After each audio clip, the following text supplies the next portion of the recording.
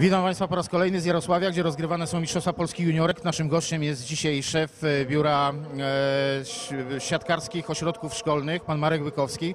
Marku, dawno nie widziałem się w takim stroju. Jesteś e, tak ubrany, że wyglądasz jak prezydent Jarosławia. Miałem oficjalną wizytę razem z szefem szkolenia projektu SOS Zbyszkiem Krzyżanowskim.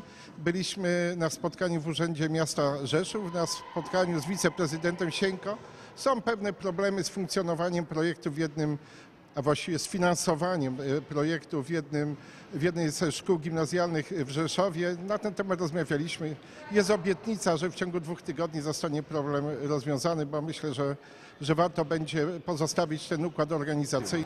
Marku, e, to jest właściwie historyczny projekt, bo, bo pierwszy raz mamy w historii polskiej siatkówki do czynienia z tak e, ogromnymi środkami, które są przeznaczane na siatkówkę. E, myślę, że wszyscy mamy nadzieję, że, że będzie to program skuteczny. Ty jeżdżąc po Polsce, e, oceniając ośrodki szkolne, czy widzisz progresję tego, że, że tych ludzi jest więcej przy siatkówce, że bardziej, bardziej dzieci się interesują tym sportem, że, że chcą się związać z naszą dyscypliną? tak rozpędzał w formułowaniu pytania, to w Twoim pytaniu będzie udzielona odpowiedź, bo, bo jest racją to wszystko, co zawarłeś. Kilka elementów chciałbym, żebyś mi po prostu opisał.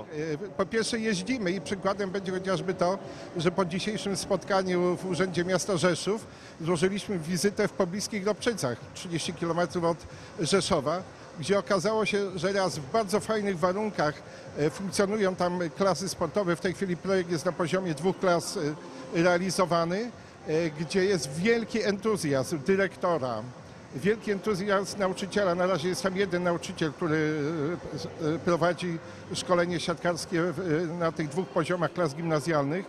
E, Jest bardzo duże zainteresowanie środowiska, świetne wsparcie e, miejscowej jednostki samorządu terytorialnego, bo ten projekt on zresztą e, ze swojej natury i, i, i zgodnie z treścią porozumienia jest współrealizowany też przez jednostki samorządu terytorialnego.